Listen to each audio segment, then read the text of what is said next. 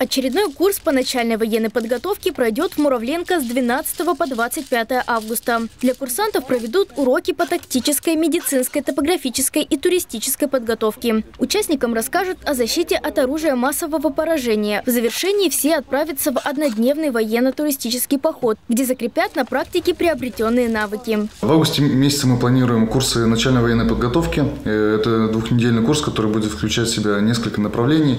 Э, мы добавили ряд направлений новых. Люди после работы, после шести приходят э, на место, куда обозначают инструкторы, э, и в целом в течение полутора-двух часов занимаются. Занятия организованы в рамках проекта «Северяне. Жизнь героя». Курсы проводят для муравленковцев старше 16 лет. Зарегистрироваться можно онлайн по ссылке внизу экрана.